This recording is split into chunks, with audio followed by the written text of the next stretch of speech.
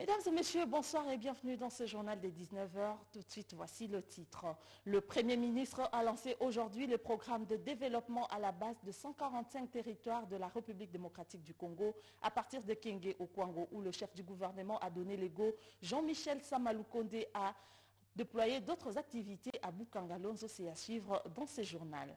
Le monde entier célèbre aujourd'hui la journée mondiale de poste sous le thème pour la reprise de poste, le ministre congolais de Pétenetique a adressé un message à la nation sur la vision de poste en République euh, démocratique du Congo. C'est le sommaire de ce journal qui fera également la ronde de province pour vous faire une idée des lactus dans l'ensemble du pays. À toutes et à tous, soyez le bienvenu si vous nous rejoignez.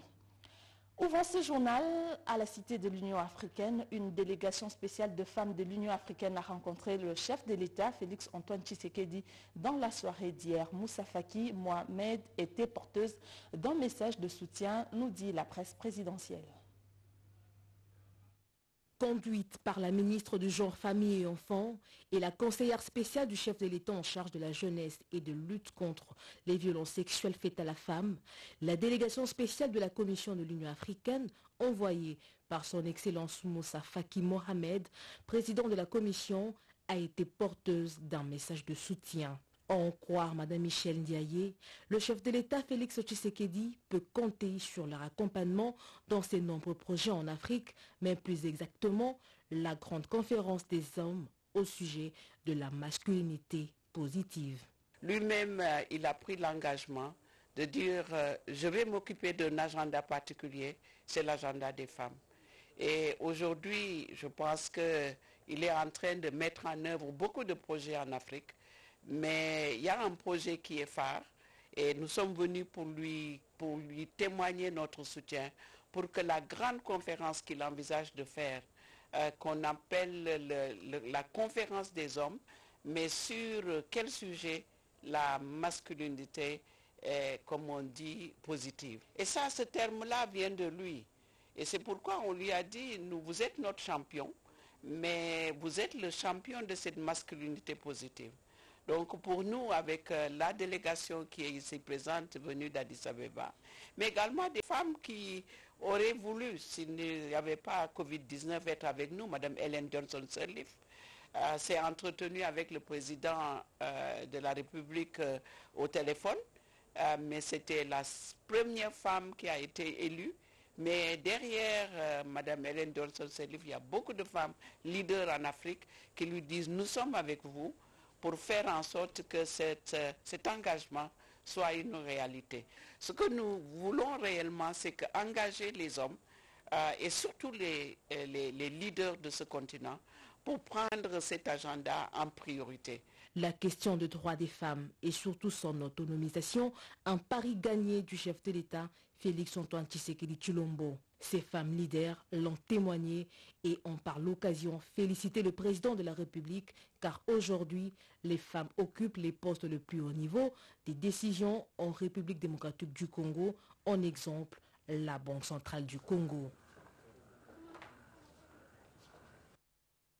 Bien avant cette rencontre avec les femmes de l'Union africaine, le chef de l'État avait présidé le Conseil de ministres ordinaire de chaque vendredi avec plusieurs sujets, parmi lesquels la campagne de sensibilisation au civisme routier. Le ministre de la Communication et médias, Patrick Mouyaya Katembo, a fait le compte rendu. En voici un extrait.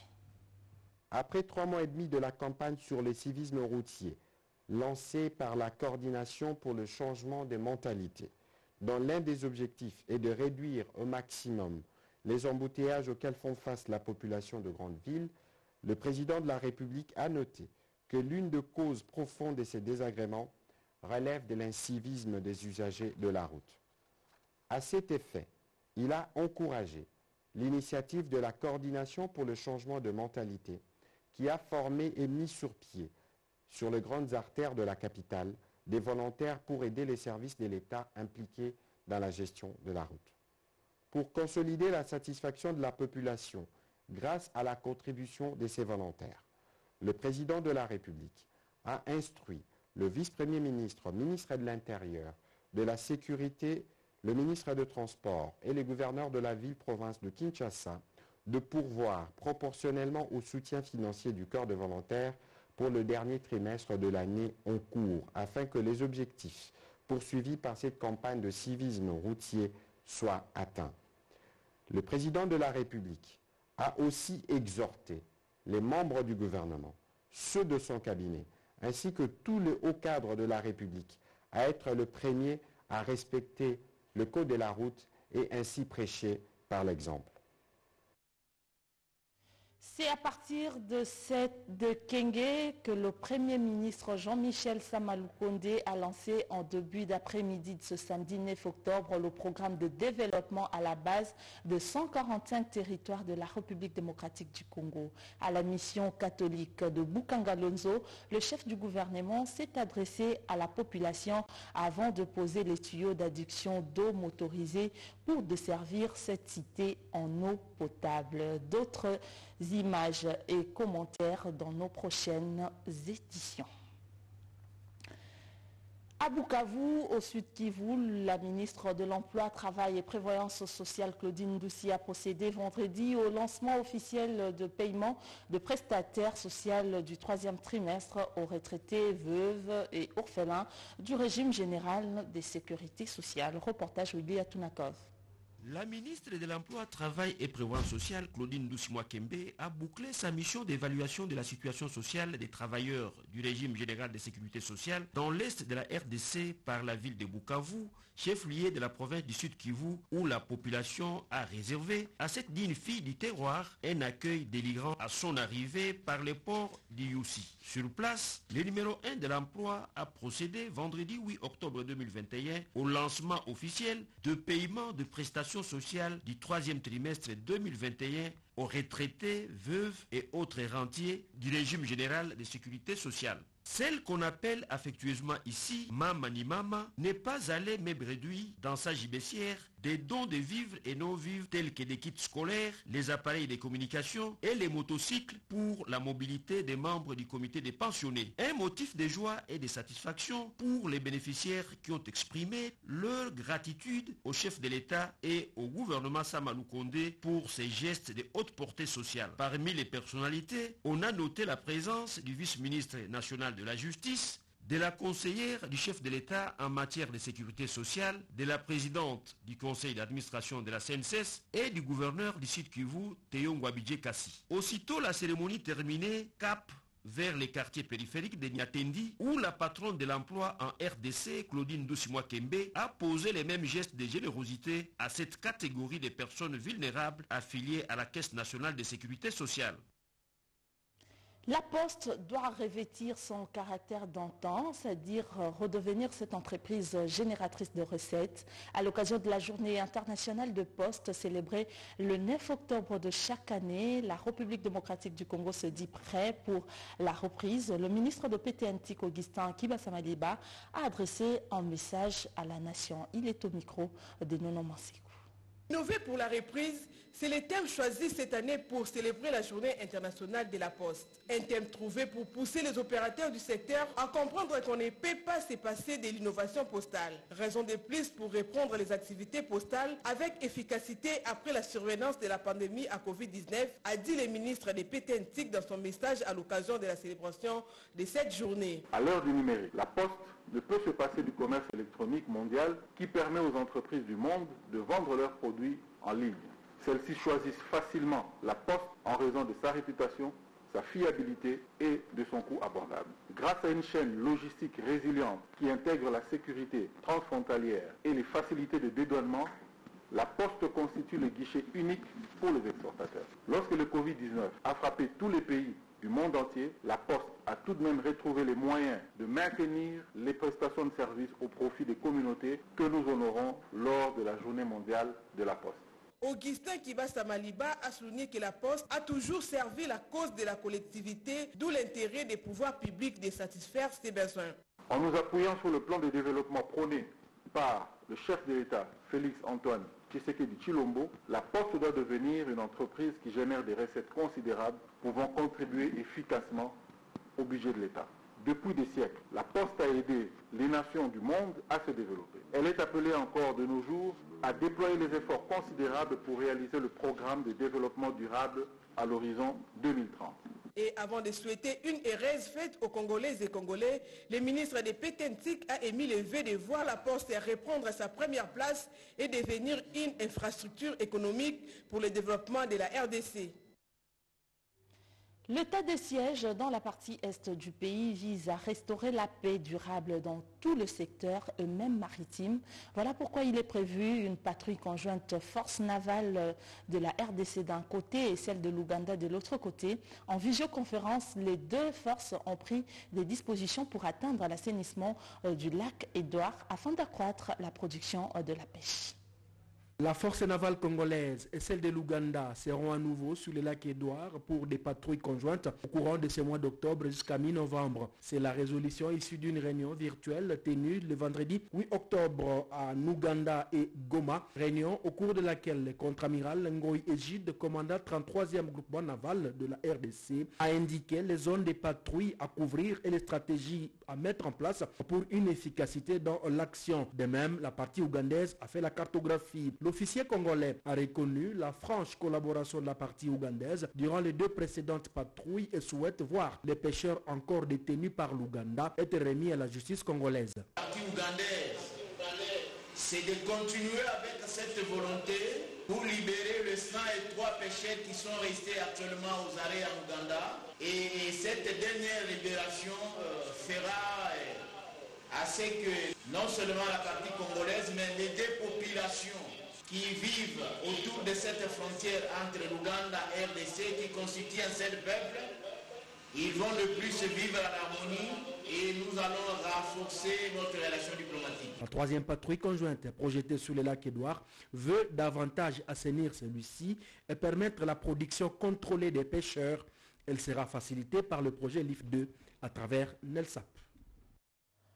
Poursuivons avec notre ronde à travers le pays. Faire taire le bruit de bottes et des armes à Kabambaré dans la province du Maniema, c'est toute la détermination du chef de l'État exécuté par le gouverneur intérimaire de cette province, Idrissa Mangala. Une réunion de sécurité s'est tenue à Salamabila à ce sujet avec toutes les parties prenantes pour contraindre le groupe rebelle à déposer les armes. Reportage redépendant autour du gouverneur intérimaire du Maniema, Afan Idriss Mangala, le membre du gouvernement provincial, le conseil provincial de sécurité, le représentant du groupe rebelle Maïmaï Malaika, avec en tête Amouri Ramazani Apollo, alias Kidiamali, le chef coutumier, et les acteurs de la société civile, ainsi que la délégation du ministère de la Défense, ont tous pris part à cette réunion, tenue ce 7 octobre 2021 dans la salle paroissiale Saint-Joseph Wamaza, pour évaluer la situation sécuritaire qui a longtemps prévalu dans les territoires de Kabambaré au sud du Maniema. Le général de brigade Deyo Baleke, conseiller au ministère de la Défense chargé du désarmement, mobilisation, relèvement communautaire et stabilisation DDRCS, a rassuré la population de la détermination du gouvernement de la République de pacifier tout le Congo, y compris les Maniema. Le chef de l'exécutif provincial a salué l'esprit de paix qui anime les deux factions rivales Maïmaï, Malaïka à la suite de la caravane de paix que lui-même a initié au mois de juillet. Cela a abouti à la cessation d'attaques entre les forces armées régulières et le rebelle avant de faire remarquer l'importance de toutes ces délégations à Salamabila, ce qui témoigne l'implication du gouvernement central. Cabinda, c'est dans la province de Lomami. Là, les prisonniers ont recouvert leur liberté par une grâce présidentielle. Imaginez commentaire. Cette cérémonie officielle d'exécution de l'ordonnance présidentielle numéro 21-059 du 28 juillet 2021 portant mesure de grâce sur la remise ainsi que la commutation de peine pour certaines infractions a eu lieu ce lundi 4 octobre 2021 à la prison centrale de Moueneditou. Nous sommes dans la province de Lomami. C'est le procureur de la République près le tribunal de grande instance de Kabinda, Célestin Mouyumba Mouyanzi, qui a exécuté cette ordonnance du magistrat suprême de la République démocratique du Congo, Félix Antoine Tshisekedi Chilombo. C'est présence de l'adjoint au maire de Mweneditou, Joseph Komanchikon, le chef du parquet de Mweneditou, près le tribunal de paix, Jean-Félix Ikombe Yamama, ainsi que d'autres invités venus pour la circonstance. Au total, 10 prisonniers, tous hommes, ont bénéficié de leur libération effective. Il fallait euh, étudier minutieusement le dossier de tout chacun afin de voir le mérite de bénéficier de cette mesure de grâce. Ainsi, après un travail bien méticuleux, on a retrouvé des bénéficiaires de cette mesure. Applaudissez d'abord pour les chefs de l'État. J'aimerais tout simplement que vous sachiez que cette mesure de grâce doit jouer des leçons chez les bénéficiaires, de sorte que une fois dehors, ils ne puissent plus revenir encore avec les mêmes Après avoir bénéficié de leurs attestations, des sages conseils leur ont été prodigués pour un comportement digne dans la société au sortir de ce centre de rééducation.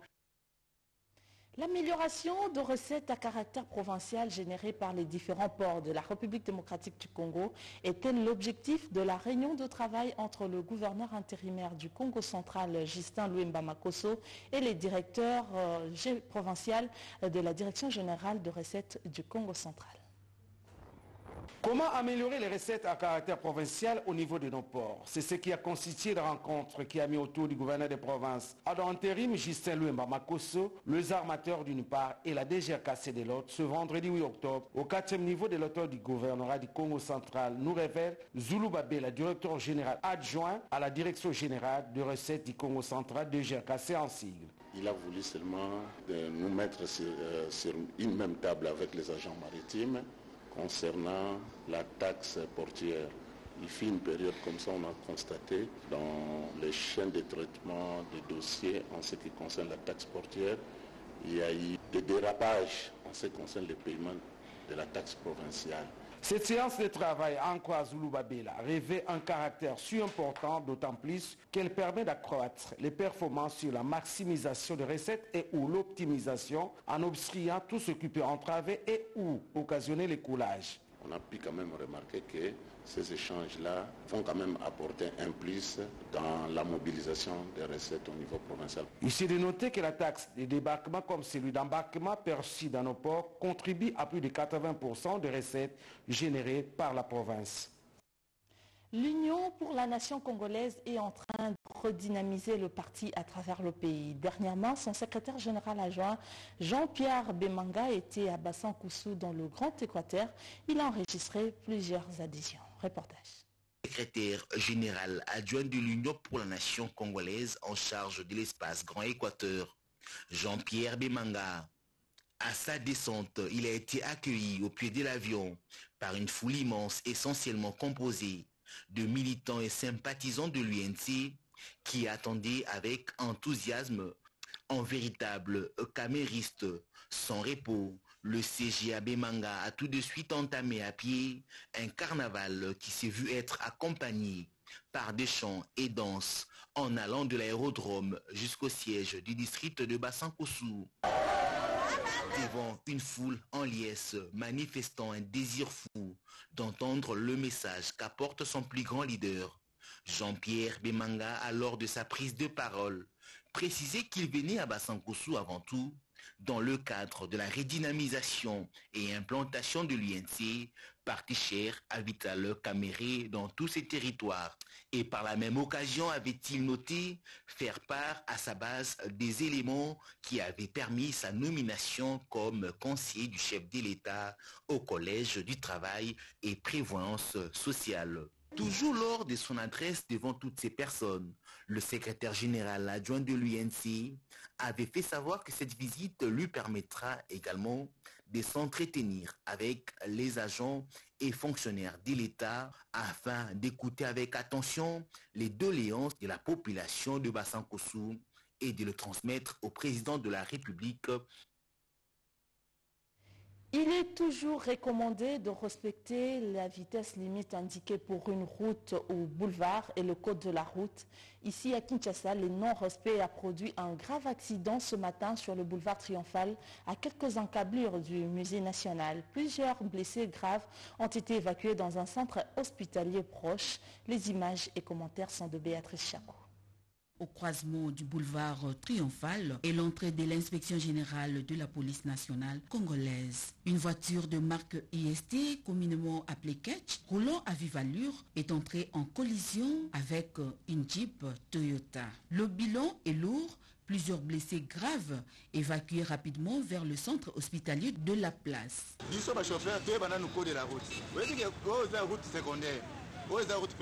Nous, les chauffeurs, nous devons tout d'abord maîtriser les codes de la route. Avant de s'engager dans la route principale, il faudra d'abord observer que tu sois prioritaire ou pas. Nous demandons aussi aux chauffeurs de ne pas beaucoup boire de l'alcool, car c'est l'une des causes des accidents récurrents.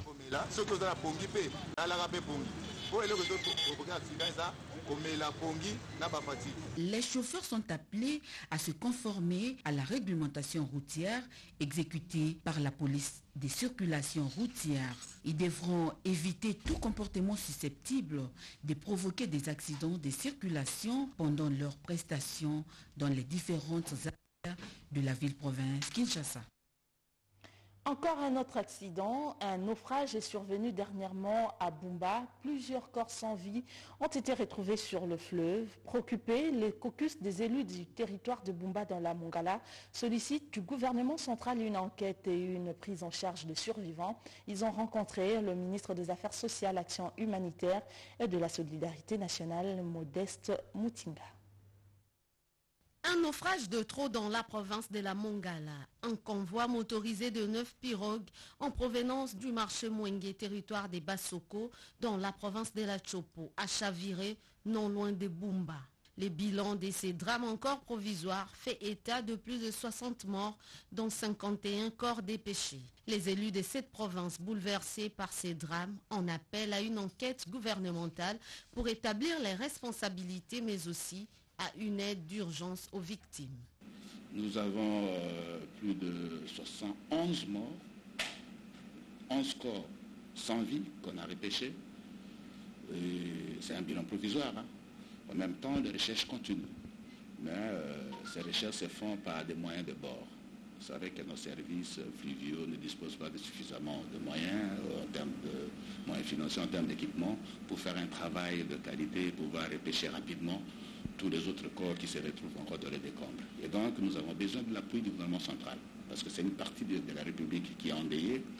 On a besoin de la solidarité, de la consolation du gouvernement central pour que ces familles endeuillées, ces familles éprouvées puissent se sentir prises en charge, se- puissent se sentir consolées par, le gouvernement de la République. Selon les sources proches du lieu du naufrage, hormis la surcharge, le mauvais temps serait aussi à la base de cette noyade. À Kinshasa, les leaders de la société civile ont été sensibilisés contre le discours et messages de haine et d'incitation à la haine tribale et ethnique. C'était une organisation de la dynamique communautaire pour la cohésion sociale et le développement des Congolais. Émilie Kaindo Papimbongo nous donne le détail.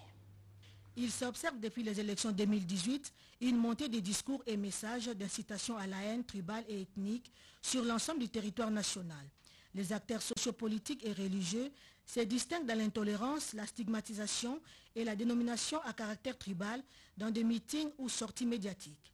Dans son rôle de couloir de transmission de la paix, la société civile, à travers la dynamique communautaire pour la cohésion et le développement, a organisé une journée de réflexion pour sensibiliser les acteurs de la société civile à lutter contre les discours et messages d'incitation à la haine tribale et ethnique. L'approche aujourd'hui est de construire la cohésion sociale et c'est cela le credo de la DICODE.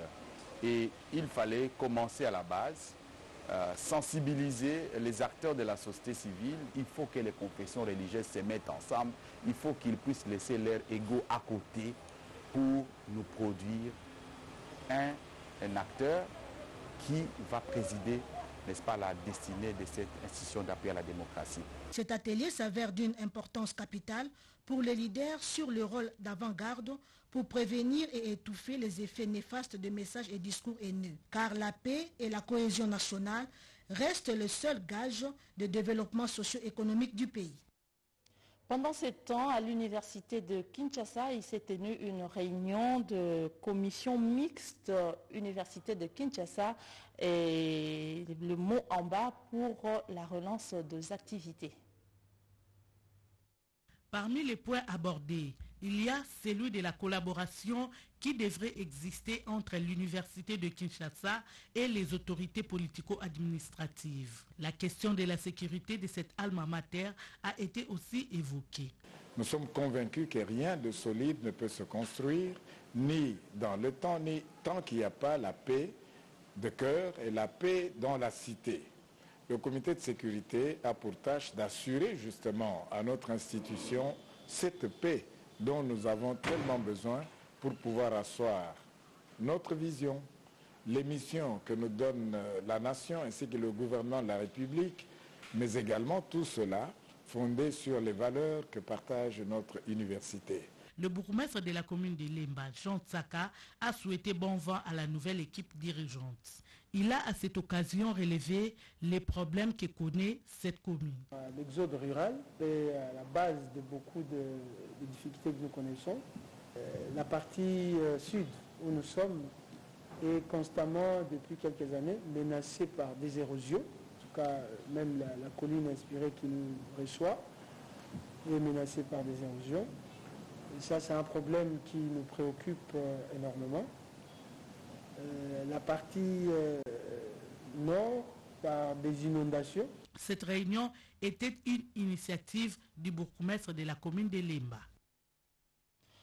Nous le savons tous, la rentrée scolaire 2021-2022 était très timide le lundi dernier sur l'ensemble du territoire national. L'attitude des enseignants des écoles conventionnées ont poussé les partenaires, plutôt le parlementaire debout de l'UDPS à monter au créneau pour fustiger la posture de, certaines, de certaines organisations syndicales qui appellent à la grève. Ces derniers réitèrent leur soutien au ministère de, plutôt au ministre de l'enseignement primaire, secondaire et technique, le professeur Tony Mwabakazadi.